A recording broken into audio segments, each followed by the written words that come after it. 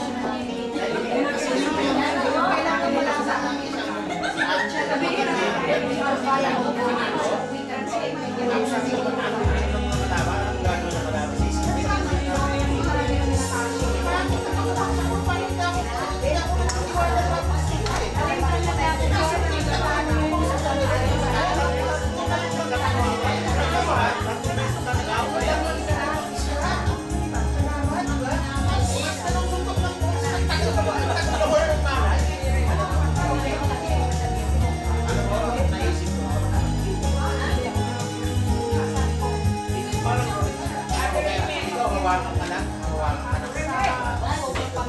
Huwag mo kalimutan. Although, marami ang magpapalang.